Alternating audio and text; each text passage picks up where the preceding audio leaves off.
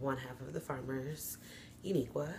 If you are new to our channel, please subscribe for future updates and also check back on our old videos to catch up on uh, everything that's been happening. So this has been an interesting week, I'll say. Um, the reason why I'm doing this video about myself is I'm just updating uh, what's happened in the last week with my daughter's appointments and um, the doctor's office that Traniece and I go to she doesn't come in until the very end um, because my doctor has strict rules. So she wasn't uh, in the incident. So at our last doctor's appointment, um, it started off like any other regular doctor's appointment. I checked in and then I went to the maternity waiting room to wait to be called back to the back. And when I did, um, I was there just for the um, HIV test. So yeah, it was it was just supposed to be like a quick little checkup. It wasn't anything in specific. A woman who took my blood pressure and my weight and stuff like that, she told me to go on back to the lab for my HIV screening. Now, HIV screening is normal when you're pregnant. While I'm in the, the lab waiting to get my blood drawn, I'm looking at my paperwork. They give you the sheet and it's basically to tell the lab what you're there for. So the paper that they gave me, I was looking at the check marks that she had for me and on one of them it said pre-existing risk or something like that like basically um, what factors could determine of you possibly having hiv it had three different options i want to say. The first box was um, vaginal slash anal intercourse with male partner. The second says vaginal slash anal intercourse with female partner and then it was like another option or like two more options i can't quite remember. Anyways as you know for those have been keeping up with us for these past couple of weeks i'm in a homosexual relationship with my wife of the last three plus years. I haven't had sex with a male in 12 months um, which is what she had marked off. Now i assumed that she marked it off because you know being that i'm pregnant um, she the lady who checked me in doesn't I've never exactly explained to her the situation because like I said my wife doesn't come back into the room with me until towards the end which is nothing that she has to do with. She's just there to get my weight and my blood pressure. So she's never seen Traniece um, so therefore we've never had a reason to explain our situation with her. Um, so when I got called back to the lab um, I asked the technician, I said, hey, you know, this box is checked wrong. Um, it's supposed to be the next box underneath. I haven't had sex with a male in the last 12 months. Um, you know, I don't know if that matters, but should I just scratch it out and recheck the right box? The lab technician told me um, that they could not do my lab work if the paperwork was not correct because the state would reject it.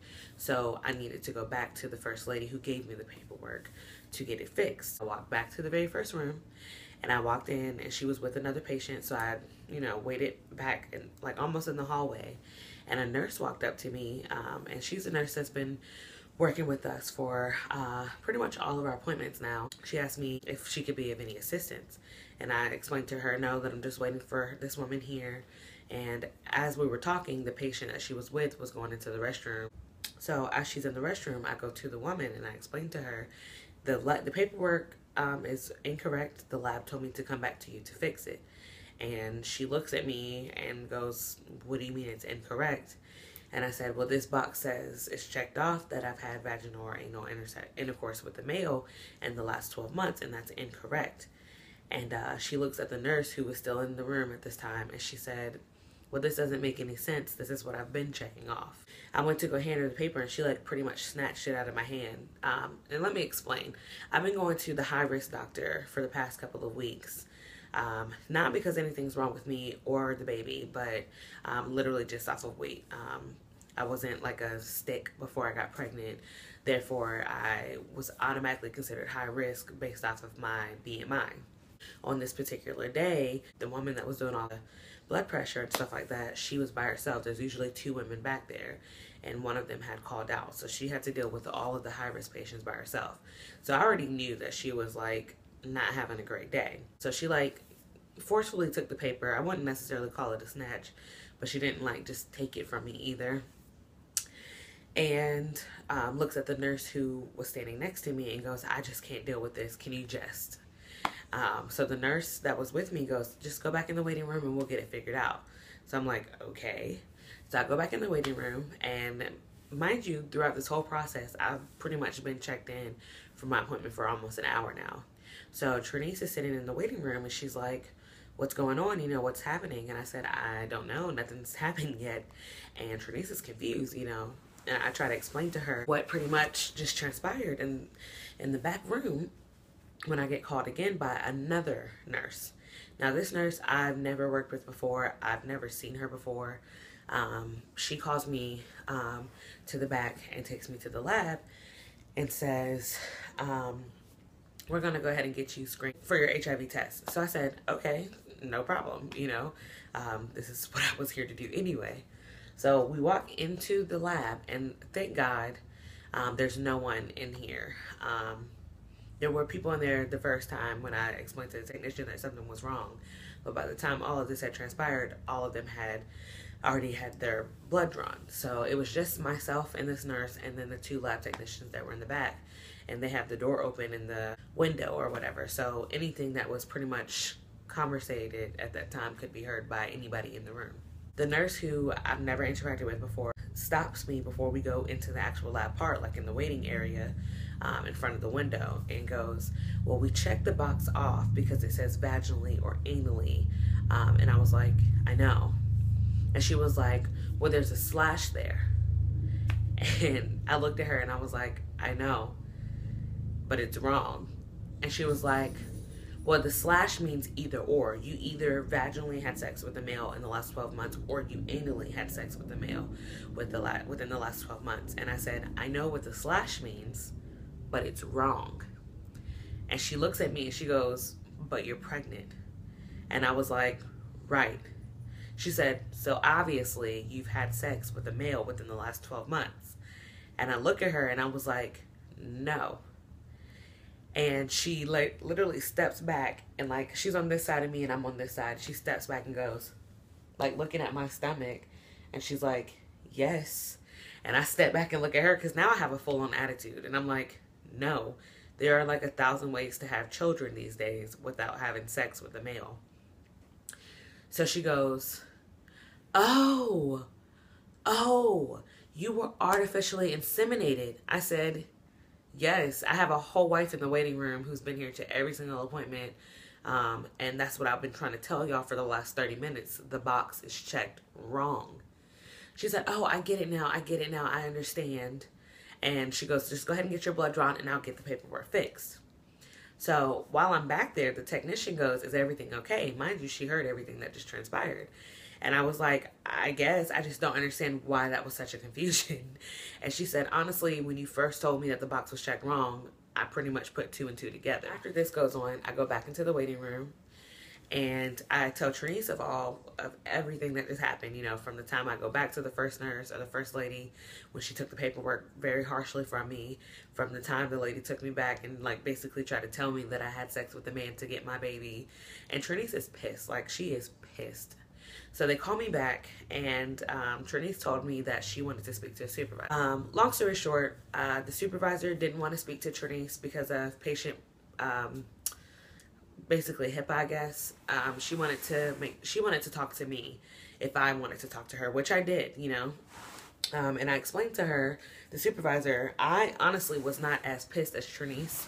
Um, reason being that is, you know, Traniece was going off of what I was telling her. So, of course, Traniece is thinking of it like, I'm already irritated that y'all don't allow spouse spouses or whatever to come to the room until like the very end of the appointment um, you know when you're checking on the baby you know which we we are okay with that because in the beginning all they like i said they do your weight and your blood pressure and they make you pee and stuff like that so it's not like she's like necessarily needed in the beginning of the appointment anyway. So, um, you know, I, I explained to the supervisor, you know, I'm not as upset as my wife is. You know, I'm not going to lie. However, I truly am pissed, if you will, about how everything just transpired, you know. Um, it's not even so much as the first lady, and I explained it to her. The first lady I was not upset about because, like I said, it was a high risk day. She was the only one, and I can visibly see that she was, um, I can visibly see that she was um, busy. So I wasn't upset about the very first lady. However, the second lady is really, truly what pissed me off. Um, you know, how dare you? You know, how dare you assume that just because I'm pregnant, you know, I had to have had sex with a man. I, I understand why there was confusion. Why, you know, in the beginning of the whole appointment, I, I understood why because I am a pregnant female, and you know, in this closed-minded time, uh, people have this one way of thinking, and I get that. I was not upset that you know they assumed that I had sex with a male. Um, however, if they had just asked me um, before filling out that box for me, I could have explained the situation. Or even when I went to the first lady who was overwhelmed and she had asked me, Well, what do you mean it's incorrect? And I could have just explained my situation. Or even the second lady who brought me back, who didn't know me from Adam, who tried to explain to me how I got pregnant.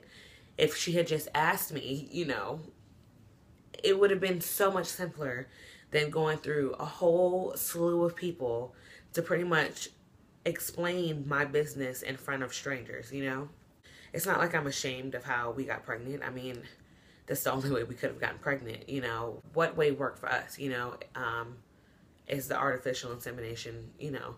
Um, I don't need to explain to you that I did it at home. I don't need to explain to you how I got pregnant, but medically, I'm telling you that this paperwork is incorrect. I'm just like, they thoroughly, thoroughly pissed me off, um, needless to say.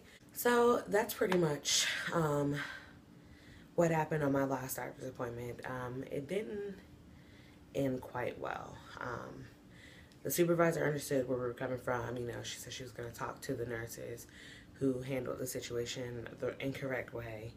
And they were going to use our example as, you know, um, it is a new day and age, and there are such things as heterosexual and homosexual couples who get pregnant and the protocol of how you handle heterosexual and homosexual um, doesn't need to necessarily be different, but you can respectfully ask someone about their situation without prying. Um, a simple, would you mind filling out this box? Would have been sufficient. I could have filled the box out myself, and if they had said, "Oh, well, ma'am, you know, blah blah blah," then I would have been like, "Oh, well, no, blah blah blah," you know. Or even if they had asked me, you know, like I said, if they had just asked me from jump. Um, but Traniece and I were thoroughly upset about that. So with that being said, I'm gonna go ahead and give you a belly shot. I'll be 30 weeks tomorrow. You know, today's Friday that you're seeing it, so I'll be 30 weeks tomorrow. So we have 10 weeks left of this little girl brewing. So yeah, let me go ahead and get that belly shot. So we've got the front view here. So we've got one side and the other side. So like always, make sure you give this video a thumbs up if you like what you saw. Make sure you comment down below anything you might want to see in the future. And make sure you subscribe so you don't miss any more updates. We'll see you next time. Bye.